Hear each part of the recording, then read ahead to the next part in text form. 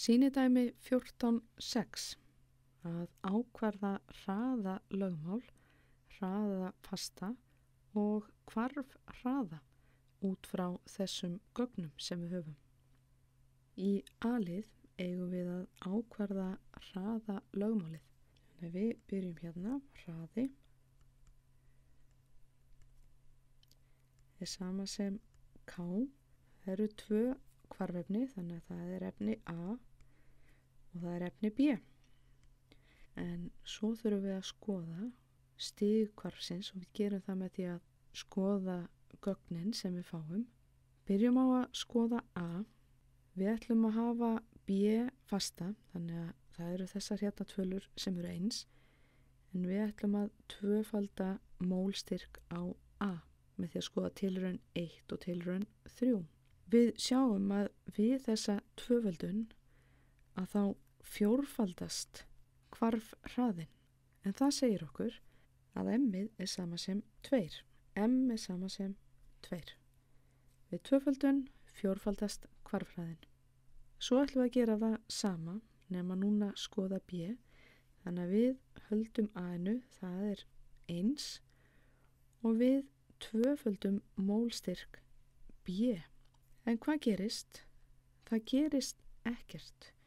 Það að tvöfalda mólstyrk B hefur engin áhrif á hraðan og það segir okkur að n er sama sem 0 eða 0. En þetta þýðir það að k er sama sem a í öðru. Eitthvað í núltaveldi er 1 og því sleppum við að skrifa hérna bjöð. Í bjelið eigum við að ákvarða hraða fastan, K. Þannig í bjelið við erum með sem sagt hraði er sama sem K A í öðru. Þetta var hraðalögmálið sem vorum að finna út og þar að leiðandi við ætlum að einangra K.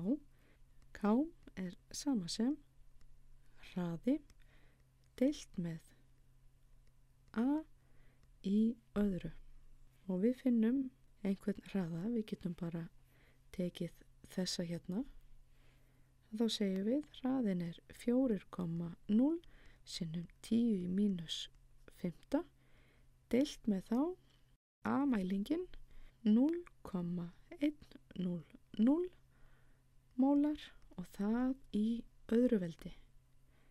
Og hvað fáum við út? Við fáum, við höfum þetta mólar á sekundu, við fáum út 4,0 sinnum 10 mínus þriðja mólar í fyrsta sekundur í fyrsta. En þetta annaveldi þá sáum við, við erum með 0,100 mólar sinnum 0,100 mólar. Þannig að mólar á móti mólar að lókum í sélið þá hefur að reikna hraðan þegar A styrkur er 0,050 mólar og B er 0,100 mólar. Þannig í sélið þá segir við hraði. Við vorum búin að reikna hraðafastan.